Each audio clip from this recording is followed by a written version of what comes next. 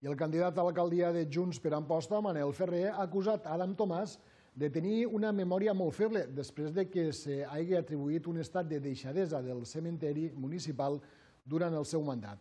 Un argument que, segons l'exalcalde, figura a les cartes enviades per Tomàs la setmana passada a diferents propietaris de nínxols.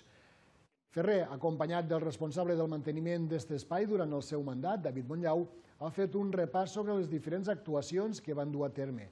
Alhora, també ha mostrat el seu desacord sobre els diferents impostos que actualment paguen els familiars, com ara el canvi de titularitat i el nou impost de manteniment.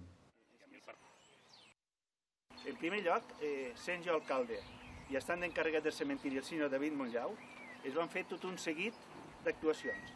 Es va fer l'asfaltat de tot el carrer central del cementiri, se va fer-se la col·locació de totes les farres de l'enllumenat també d'aquest carrer central, la rehabilitació i restauració de la capella del cementiri per part dels alumnes de l'Escola d'Arisenc de la nostra ciutat, la col·locació també de plaques amb el nom de flors de tots els carrers del cementiri, l'arrebossat i pintat de tota la façana exterior del cementiri per part dels alumnes de l'Escola Taller d'aquí d'Amposta i també es va fer-se l'aprovació urbanística del Pla de Millora Urbana 1 Cementiri que comportava l'ampliació del cementiri a la zona sud d'aquest cementiri.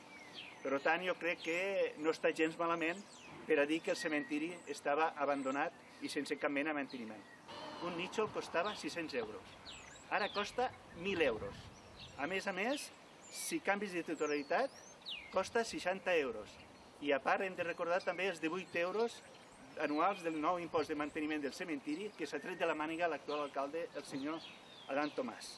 Perquè, i repeteixo una vegada més, l'anterior govern no existia aquest nou impost que ara han posat.